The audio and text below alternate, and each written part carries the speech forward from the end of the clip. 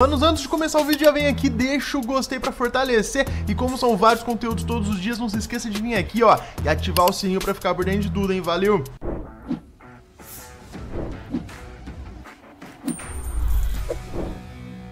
PS5 Pro tá caríssimo, galera. O mundo inteiro, literalmente, tá caindo em cima da Sony, falando preço aqui, preço ali, mas nem tudo tá tão caro não, galera. O que eu vou passar para vocês nesse vídeo aqui são algumas oportunidades para você que quer tá comprando algum jogo num preço interessante e a Microsoft no final do vídeo eu vou falar que acaba de entrar para a história. Literalmente o Phil Spencer, ó, tá com um sorrisão de orelha a orelha, irmão. Já deixa aquele like aí, aquele gostei no vídeo para fortalecer, pô, para você não custa nada, mano. É um botãozinho, um clique que você dá me ajuda bastante. E sem enrolação, já tá com a primeira notícia na tela, galera. Exatamente, o jogo do Astrobot já entra em promoção. O jogo que está sendo extremamente bem aceito pela crítica, pela mídia, pelos jogadores. Eu tenho jogado, tenho, nossa, adorado muito o Astrobot. Já fiz um vídeo aqui no canal para passar um pouco das minhas opiniões e tal. Agora tô rumo à platina. Falta pouco, acho que entre hoje e amanhã eu já platino ele. Mas enfim, de qualquer maneira, galera, se você quiser comprar o Astrobot em mídia física, ele tá aí em promoção na Amazon, cara. O jogo acabou de lançar e já tá com essa promoçãozinha aí saindo por 269. Vale a pena comprar por 269? Galera, Olha, tem mais barato. Eu tô deixando o link na descrição da loja onde eu pego meus jogos. Todos os meus jogos praticamente eu pego lá com eles. O Astrobot eu acabei não pegando com eles porque eu ganhei ele da Sony. Já falei disso no canal. Mas a grande maioria dos jogos, daqui a pouco tem o FIFA, depois tem o Dragon Ball, irmão. Eu tô muito hypado pra esse Dragon Ball. Eu vou pegar tudo lá com eles. E lá na loja o Astrobot tá bem mais barato. Mas se você quiser ir em mídia física, né? 269 é o preço que estão que estão cobrando aí. O que, que vocês acham? Melhor do que 299 preço padrão é, né? Fica a recomendação para vocês. E esse daqui não tem como perder. Gente, The Crew 2 tá saindo na PSN. Você não precisa ser assinante Plus. É só ir lá e comprar. Vou deixar até o link na descrição para facilitar para vocês que ele tá saindo por R$ 3,59. Cara, R$ 3,59. Dependendo do lugar, você não compra nem uma garrafinha d'água.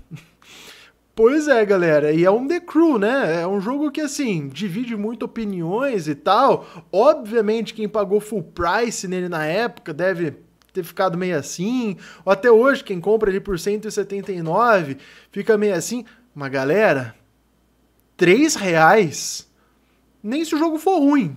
Mano, compra, testa. 3 reais vale a pena demais, galera, tá? Lembrando que essa daqui é a versão Play 4, aí o jogo foi lançado quando, na verdade? Tem retrocompatibilidade com o PS5, obviamente. E eu não sei de quando que esse jogo é, porque o último foi o The Crew Motorfest. É, ele é um jogo de 2018. Mas ainda assim, gente, 3 reais Ubisoft ficou louca, tacou o jogo aí para todo mundo pegar, só não deixou de graça porque senão é de graça. Mas 3 reais é, é um valor muito simbólico só, né? E é isso, tá? Lembrando que essa avaliação, esse daqui gratuito é avaliação, beleza? É, o jogo completo e tal, comprado, é esse daqui. E aí tem as edições especial 229, a Gold 300, pelo amor de Deus, né? Só ir lá e comprar a versão que tá praticamente de graça aí, Microsoft. Entrou pra história, cara. Microsoft entrou pra história. Esse jogo aqui também tem dividido bastante as opiniões aí do público. Uns gostaram, outros não gostaram.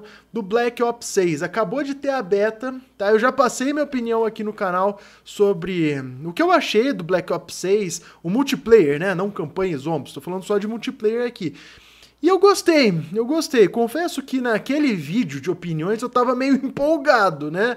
Foram minhas primeiras impressões e tal, e foram muito boas. Depois, jogando mais ao restante da beta, eu percebi que o jogo tem assim, alguns probleminhas. É um jogo que cansa muito, um jogo muito frenético, muito dinâmico. Parece que todo jogo é final de campeonato, isso acaba desgastando muito nossa experiência, mas é um jogo bom, tá? Eu achei que Black Ops 6 é um jogo bem interessante Tô ansioso aí para jogar a versão final aí quando for lançado daqui a pouco.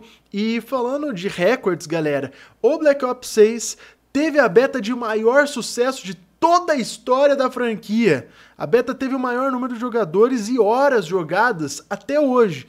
O povo gostou e abraçou com força esse Black Ops 6. E é o primeiro COD sendo feito e publicado pela Microsoft. Então a Microsoft tá felizona com isso, mano. Realmente, ele foi top 1 em tudo aí, entrou pra história e sensacional. Vamos ver no jogo final se vai fazer tanto sucesso quanto a beta. Eu acredito que sim, em especial porque chega Day One no Game Pass aí pro pessoal do PC que assina o Game Pass, é, pro pessoal de Xbox One Series. Sensacional, gente. Ó, vocês jogaram esse Black Ops 6 aí? Vocês gostaram? Comentem no campo dos comentários, comenta aí o que, que vocês acharam. Eu vou ficando por aqui, gente. Valeu!